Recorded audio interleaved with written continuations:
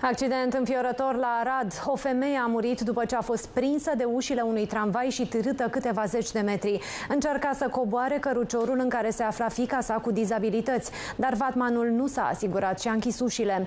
Mai multe detalii despre acest subiect are colega mea Amalia Chiriță. Amalia, bună ziua! Ce s-a întâmplat? Bun găsit, Livia. Înainte de a vă spune povestea acestui incident, trebuie să vă avertizez că urmează imagini și detalii cu un puternic impact emoțional. Femeia în vârstă de 55 de ani era împreună cu fica ei, o copilă de 12 ani cu probleme locomotorii. Cele două se aflau în tramvai și când acesta a ajuns în stație, au vrut să coboare pe ușa din spate. Mama voia mai întâi să dea jos scaunul cu rotile, după care ar fi urmat să coboare ea, însă a fost prinsă de ușile vehiculului.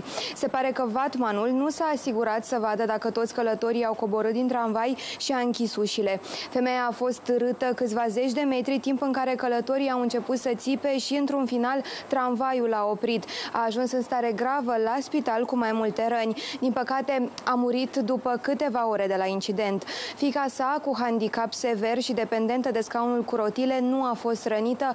A fost și ea transportată la spital și a fost sesizată Direcția de Asistență Socială socială și protecția copilului.